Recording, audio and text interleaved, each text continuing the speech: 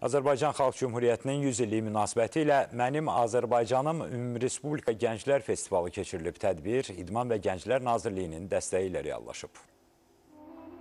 Mənim Azərbaycanım Ümumrespublika Gənclər Festivalı Azərbaycan Xalq Cümhuriyyəti dövründə Bakının ictimai həyatını əks etdirən qısa səhnəciklə başladı.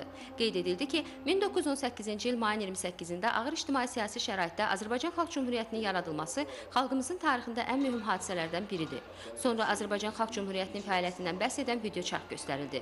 Süvari dəstənin iştirakı ilə Azərbaycanın milli azadlıq mübarizəsini, eləcə də 1918-1920-ci illərdə ordu quruculuğu və Cümhuriyyət ordusunun qazandığı zəfərləri əks etdirən səhnə təqdim olundu.